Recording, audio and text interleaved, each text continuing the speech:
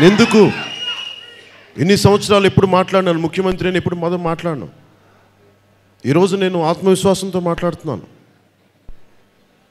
నాకు ముఖ్యమంత్రి ఇవన్నీ పెద్ద పదవులు నాకు ఆ పదవులు నేను తక్కువ చేయను. నాకు అర్హత ఉందా లేదా? ఆ మాట మాట్లాడటానికి. అది నేను చెప్తే వచ్చేది కాదు. జగన్మోహన్ రెడ్డి గారు నన్ను ముఖ్యమంత్రిని చేయండి అని అడిగే వ్యక్తిని కాదు. ఏ మూలకెళ్ళినా లక్షలాది మంది యువత పవన్ కళ్యాణ్ సీఎం సీఎం అని అరుస్తూ ఉంటే నేను ఇప్పటి నుంచే సంవత్సరాల నుంచి వింటా ఉంటే ఏ రోజు కూడా నేను దాన్ని నమస్కారం పెట్టి వదిలేసేవాడిని చిరునవ్వు వదిలిపెట్టి వదిలేసేవాడిని. ఇప్పుడు ఎందుకు మాట్లాడుతున్నానంటే ఉన్న జగన్మోహన్ రెడ్డి గారు తెలంగాణలో కానీ ఇంత దోపిడీ జరుగుతుంటే ఆంధ్రప్రదేశ్లో అవినీతిమయమైపోతున్నప్పుడు అసెంబ్లీని వదిలేసి చట్టసభల్లో ఉండాల్సిన ప్రతిపక్ష నేత సమస్యల్ని నిలదీయాల్సిన ప్రతిపక్ష నేత జరుగుతున్న అన్యాయాన్ని నిలదీయాల్సిన ప్రతిపక్ష నేత రోడ్ల మీద ఉంటే ప్రజలకు సహా ఎక్కడికి నా శాఖ ఎక్కడికి సహాయం పడతారు ఎక్కడికి ఉపయోగపడుతుంది ఆయన సేవలు ప్రతిపక్ష నాయకుడిగా? అలాగే ముఖ్యమంత్రి గారికి మనం హోల్ హార్టెడ్గా సపోర్ట్ చేసాం మనస్ఫూర్తిగా ఆ వ్యక్తి ఈ రోజున అనేక పర్యాయాలు మాటలు మార్చి ఆయనే బీజేపీని భుజాల మీదకి ఎక్కించుకుంటారు ఆయనే బీజేపీని తిడతారు మళ్ళీ పవన్ కళ్యాణ్ తప్పంటారు ఆయన బీజేపీని మెచ్చుకున్నప్పుడు. మళ్ళీ ఆయనే కూర్చోబెట్టిన బీజేపీతో దోస్తీ అంటారు. ఏంటి ఓసరి వెళ్ళి సినిమా కదా అది?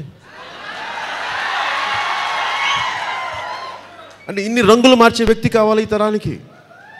రంగు మార్చకుండా మాట మీద నిల నిలబడేవాడు మాట చెప్తే వెనక్కి తిరగనివాడు దేశ రాజకీయాలు నడిపించగలగాలి కానీ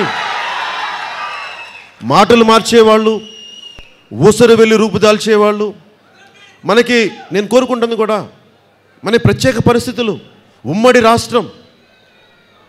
మన రాష్ట్రంలో హైదరాబాద్లో ఆంధ్రుల్ని దోపిడీదారులుగా దగాకోరులుగా నాయకులు చేసిన పొరపాట్లు.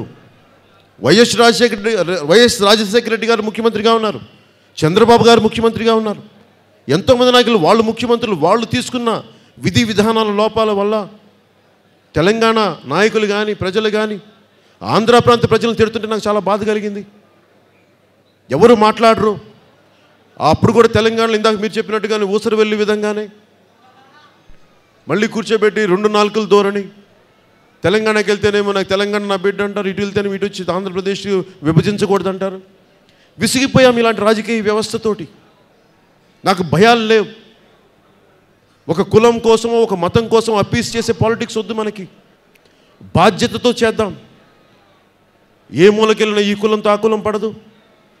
బీహార్ తరహా రాజకీయాలు మనల్ని ఒకసారి తెలుగు వాళ్ళని ప్రాంతాల వారిగా విడగొట్టారు. తెలంగాణ వాళ్ళ ఆంధ్ర వాళ్ళని. ఈసారి ఆంధ్ర వాళ్ళని కులాల పరంగా విడగొడతారా మనల్ని? మన తెలుగు జాతి మంది మన ఆంధ్రులు జాతి మంది. జగన్మోహన్ రెడ్డి గారు ఆంధ్రులను తిడతా ఉంటే ఆయన ఆంధ్రుల్ని ఆత్మగౌరవాన్ని కాపాడలేని వ్యక్తి. ఆంధ్రులు అన్యాయం జరుగుతుంటే ఎలుగెత్తి గర బలంగా మాట్లాడలేని వ్యక్తి. పవన్ కళ్యాణ్ వ్యక్తిగత జీవితాన్ని తిట్టడానికి నోరు వస్తుంది కానీ ఆంధ్రుల ఆత్మగౌరవం దెబ్బతింటారు. తెలంగాణ కాంగ్రెస్ నాయకులు అంటా ఉంటే ఏం? జగన్మోహన్ రెడ్డి గారి ధైర్యం ఏమైంది? అక్కడేమైనా ఆస్తులు పోస్తాయి అక్కడ? తెలంగాణ లేదంటే తెలంగాణ ఆస్తులు పోతాయి. నాకు ఆ భయాలు లేవు. నేను చాలా ధైర్యంగా మాట్లాడగలను. మీరు ఊహించండి ఒకసారి. రెండు వేల తొమ్మిదిలో పార్టీ పెట్టిన తర్వాత దెబ్బతిన్న తర్వాత మళ్ళీ రెండు వేల పద్నాలుగులో పార్టీ పెట్టడానికి ఎంత గుండె ధైర్యం కావాలి? ఎంత భావజాలం బలంగా ఉండాలి? ఓడిపోతామో గెలుస్తామో తెలీదు. స్వార్థం లేకుండా ఖచ్చితంగా భావజాలంతో బలమైన భావజాలంతో ఓడిపోతున్న తెలుగుదేశం ప్రభుత్వాన్ని ఈసారి ఓట్లు చీలకూడదు. మంచో చెడో ఒక ప్రభుత్వం ఉండాలి. జగన్మోహన్ రెడ్డి గారి మీద నాకు వ్యతిరేకత లేదు. ఆయన ఉన్నతంలో ఆయన మీద కేసులు ఉన్నాయి. కేసులను బయటపడేసిన వాడు కేసులు లేనివాడు ముఖ్యమంత్రి అవ్వాలి. అలాగే ఆత్మగౌరవం కాపాడగలిగేవాడు ముఖ్యమంత్రి అవ్వాలి. చంద్రబాబు గారు ఆ రోజున ఆత్మగౌరవాన్ని కాపాడతారని కాపాడారని కాదు. కాపాడలేకపోయినా కానీ ఒక అనుభోగ్యుడేమో నాకు తెలీదా? ఎన్టీ రామారావు గారిని వెన్నుపోటు పొడి చేసిన వ్యక్తి నాకు అర్థం కాదా? తెలుసు.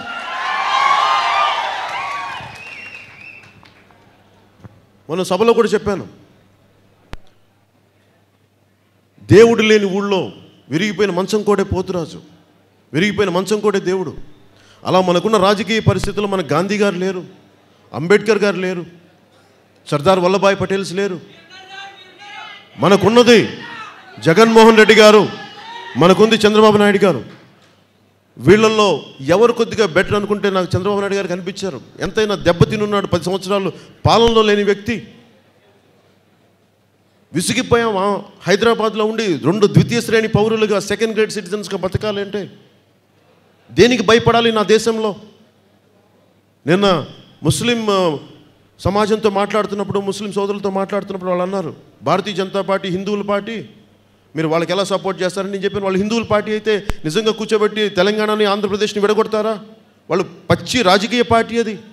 మతాన్ని వాడుకోవచ్చు కులాన్ని వాడుకోవచ్చు ప్రాంతాన్ని వాడుకోవచ్చు. వాళ్ళేంటి పార్టీ? వాళ్ళకి ఎవరికి లేదు.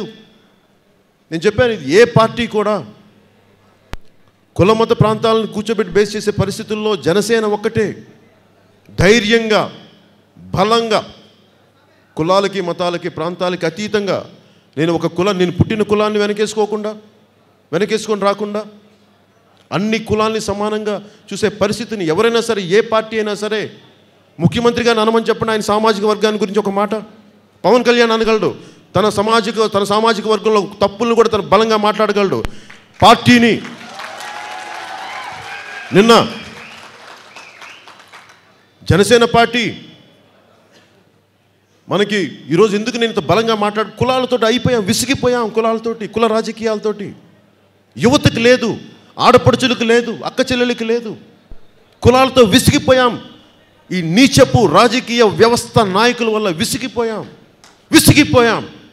ఒక సరికొత్త బాధ్యతతో కూడిన కులం అన్నిటికీ దాటి ఒక రాజకీయ వ్యవస్థను తీసుకొద్దాం. దాంట్లో భాగంగా నేను రాజకీయాల్లోకి వచ్చాను.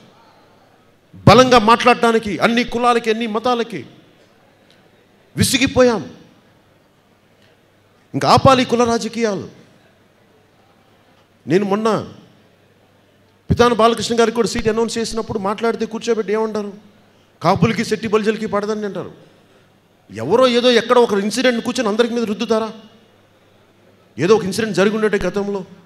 మరి నా పాయికిరావుపేటలో నా అభిమాని చనిపోయాడు. ఫ్లెక్సీ కడుతూ. ఒక రజకులు వాళ్ళు ఇద్దరు అభిమానులు చచ్చిపోయారు ఒకే రోజు. వాళ్ళల్లో ఒకళ్ళు శెట్టి బలిజలు ఒకళ్ళేమో రజకులు. మరి నాకు అభిమానంలో నా కులం ఎక్కడుంది మతం ఉంది ప్రాంతం ఎక్కడుంది? ఏ మూలకెళ్ళినా పవన్ కళ్యాణ్కి అన్ని ప్రాంతాల్లో అభిమానులు ఉన్నారు. మరి నేను ఒక కులాన్ని వెనకేసుకొస్తానా? ఒకవైపు నేను కులాల ఐక్యత గురించి మాట్లాడుతూ ఉంటే ముఖ్యమంత్రి చంద్రబాబు గారు మీరు బీసీ కులాలని చెప్తారు. బీసీ కులాలు మేము విరుద్ధంగా ఉన్నా ఉంటారు మరి తెలంగాణలో శెట్టి బలిజల్ని మరి గౌడ కులస్తులు శెట్టి బలిజలు కళ్ళు గీత కార్మికుల నుంచి వచ్చిన నేపథ్యం అది. మరి తెలంగాణలో శెట్టి బలిజల్ని ఓసీలుగా పెడితే మరి తెలంగాణ మరి ఒక జగన్మోహన్ రెడ్డి గారు ఒక మాట మాట్లాడరే? చంద్రబాబు గారు ఒక మాట మాట్లాడరే? పంచాయతీ ప్రెసిడెంట్గా పోటీ చేయని వ్యక్తి కూడా పంచాయతీరాజ్ శాఖని నడిపించే వ్యక్తి కూడా ఒక మాట మాట్లాడే లోకేష్. అంటే నేను అనేది విసిగిపోయాం. బాధ్యత గల వ్యక్తులు. నేను ముస్లిం సమాజానికి కూడా అదే చెప్పాను. ఎంతసేపు ముస్లింలు అంటే మనం కూర్చోబెట్టి బాధ్యత గొప్ప గొప్ప వ్యక్తులు ఉన్నారు ముస్లిం సమాజంలో. వాళ్ళ గొంతులు వినిపించాలి. హిందూ దేవుళ్ళను తిట్టే ముస్లిం లీడర్ల గొంతు బలంగా వినిపిస్తుంది కానీ సమాంతరంగా చాలా బ్యాలెన్స్డ్గా మాట్లాడే ముస్లిం గొంతులు బయటికి రావాలి.